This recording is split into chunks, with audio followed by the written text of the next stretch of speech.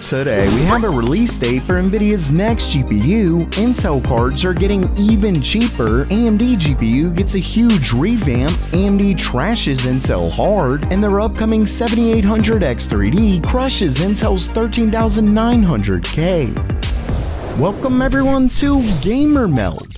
First up for today, it looks like Nvidia is gearing up to release their next RTX 40 GPU very soon. In a new report originally from the hardware leaker Hong Xing 2020 on Twitter and later reported by VideoCardz, he claims that Nvidia's RTX 4070 non-TI variant is set for release on April 13th. Remember that video card shared an embargo on the GPU a little while back, which revealed an on-shelf date of April, but we didn't have the exact day until now. So it looks like Nvidia's RTX 4070 is set to launch in just one month. Let's just hope the pricing doesn't make me cry. But first, check out this really fun course that goes over exactly how your computer's memory works. It talks about things like caching, how your memory maps everything out to get rid of redundant copies, demand load, and everything everything. You can learn that and so much more from today's sponsor. Brilliant, the online learning platform that was made to teach the STEM field, but it's actually more than that. I really love Brilliant because you don't just read a bunch of text or watch videos. You get in there and actually do it yourself with these fun and visual puzzles so you see exactly what's actually happening rather than just memorizing stuff. And they have tons of courses for whatever you're interested in. I'm talking learning how to code, neural networks and AI, or even wild stuff like quantum computing. It's all here, and if you hurry, you can get the best deal I've seen from them, which is a 30-day free trial when you visit brilliant.org slash gamermeld. And when you love it, because I know you will, visiting brilliant.org slash gamermeld gets you 20% off the annual premium.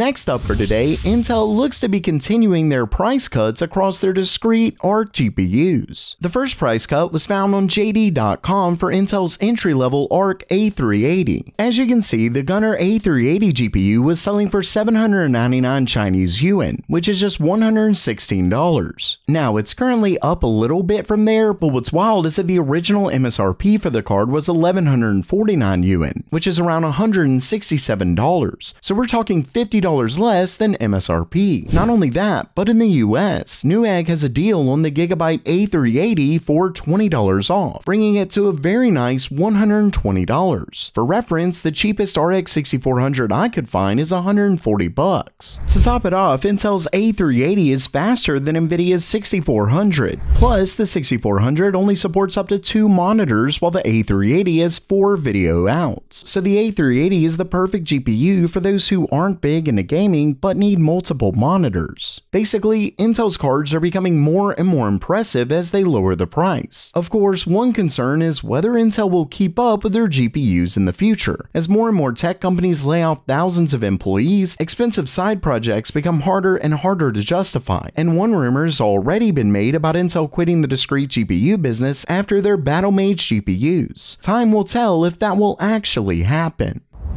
Next up, it looks like AMD GPUs are about to get a big upgrade. According to a new story from VideoCardz, Gigabyte is planning to release a new RX 6800 XT, and it's a massive GPU. Gigabyte's calling it the 6800 XT Gaming OC Pro model, and as you can see from the image, it's much bigger than any of Gigabyte's other 6800 GPUs. In fact, according to VideoCardz, the card is using the same cooler that the 6950 XT uses. Not only that, but it's clear clearly set to suck some juice because it includes a whopping three 8-pin connectors instead of two. Unfortunately, the specs of the card haven't been confirmed yet, but it's definitely an odd one. Gigabyte hasn't released a new 6000 series card since mid-2022, and it's not like crypto is making some huge comeback, at least not right now. So it's tough to see why the company is doing this. I guess it's because next-gen cards don't currently have anything to replace it, but releasing a brand new card is still surprising. Maybe this will end up being a new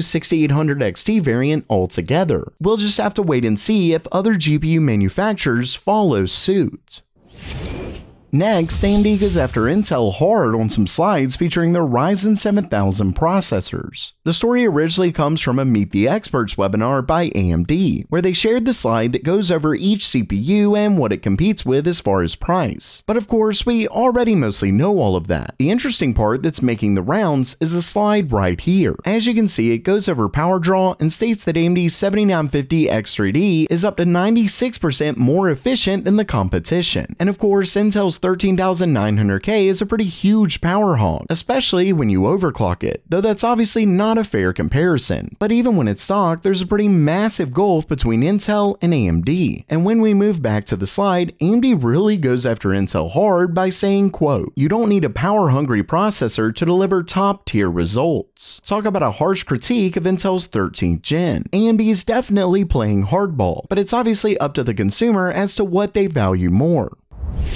And lastly for today, we finally have it. Official performance for AMD's upcoming Ryzen 7800 X3D. The story originally comes from Tom's Hardware, where they reveal official slides from AMD comparing their 7800 X3D against the 13900K, and it's seriously impressive. In fact, my theory that AMD held off the release of the 7800 X3D because it would make the 7900 X3D and 7950 X3D look bad looks to be correct. As you can see in the slide, AMD claims that their mid-tier X3D part crushes Intel's 13900K at 1080p gaming, at least in the games here. But what's interesting is that they also show a slide with the 7950 X3D against the 13900K, and some of the games overlap, so we can compare the 7800 X3D to the 7950 X3D. And as you can see, for starters, we have Rainbow Six Siege, which the 7950 X3D is 13% faster than the 13900 k but the 7800 X3D is also 13% faster, so identical performance from the part that's $250 cheaper. Next is Horizon Zero Dawn, and this one puts the 7950 X3D at 27% faster and the 7800 X3D at 24% faster. So the 7800 X3D is a little slower than the top tier AMD part here, but just barely. And of course, all of this isn't a big surprise given we saw benchmarks of a synthetic 7800 X3D X3D by turning off one of the CCX modules of the 7950 X3D a little while back. And while that part actually beat the 7950 X3D, as I said then, the 7800 X3D does have a slightly lower boost clock. Still, this is extremely close, and really some games could still give the 7800 X3D an edge over its more expensive counterpart. But even if not, being a far cheaper CPU that can beat Intel's 13900K is seriously impressive. It's almost certainly set to be the